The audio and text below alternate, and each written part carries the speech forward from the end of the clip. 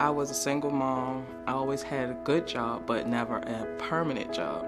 I just got tired of not having stable employment, and I said, well, I'm going to take a chance.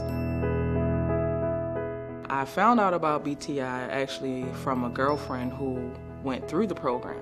I just kind of said, you know what, I got to do this.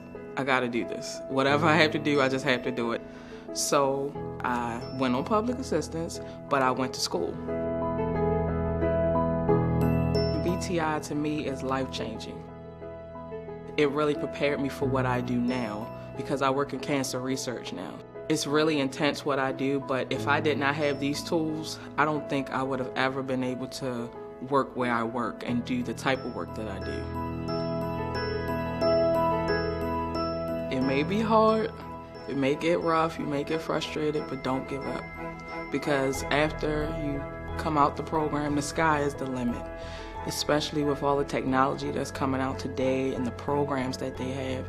There's so much opportunity out here in the biotech field, so don't ever give up.